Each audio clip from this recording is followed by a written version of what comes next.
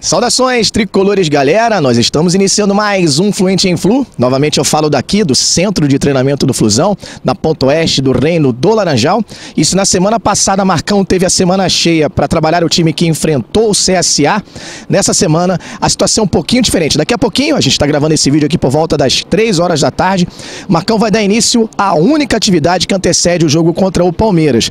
É, ontem os atletas fizeram um trabalho regenerativo na academia do hotel lá em Maceió viajaram para o Rio hoje à noite, estão se representando nesse momento aqui no CT e daqui a pouquinho começa o treino. Marcão vai ter que mexer no time, né? O Yuri recebeu seu terceiro cartão amarelo, está fora do confronto.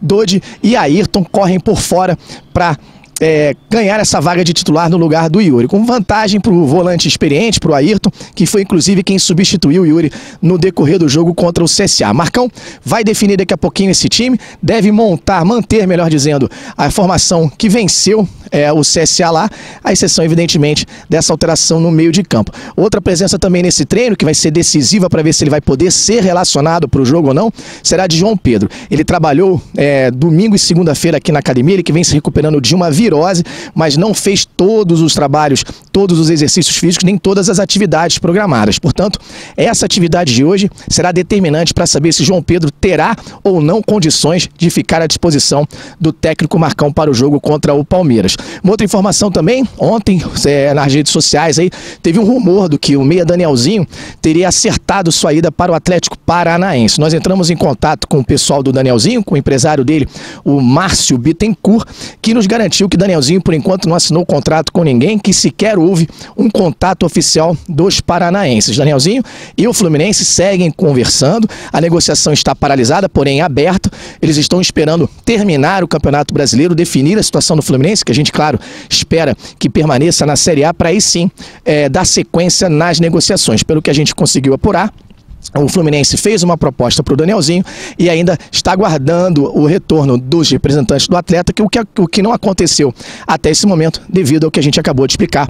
Primeiro vai finalizar o Campeonato Brasileiro para depois falar sobre renovação. Quem falou hoje com a imprensa por aqui foi o volante Alan. Ele falou sobre o momento do Fluminense, falou sobre as contas, né, quais são as missões que o Fluminense teria que cumprir para sair dessa enrascada no Campeonato Brasileiro. Fez a sua convocação para a torcida e, evidentemente, é, chamou o torcedor, disse que a importância deles é fundamental para o Fluminense fazer uma boa, um bom jogo, uma boa partida e garantiu para todos os jornalistas e para vocês que acompanhou, que acompanharam, melhor dizendo, ao vivo aqui no nosso canal no YouTube, é, que não, não, não faltará é, luta e entrega dos jogadores dentro de campo. Portanto, lugar de tricolor na quinta-feira é no Maraca.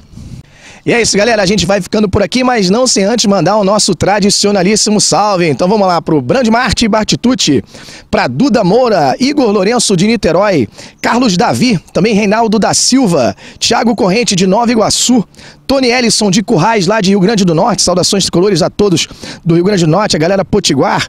Para Vinícius Lima, para o Zé Wilson Mota, lá de Brasília. Douglas Priuco e também para o Bernardo Bani. Saudações tricolores a todos. Muito obrigado pelo prestígio, pelo carinho. Se você não é inscrito ainda nesse canal, se inscreva. Vamos juntos fazer uma mídia tricolor independente, isenta e cada vez mais forte. Saudações tricolores.com. Aqui a notícia é tricolor e a gente sempre vem buscar.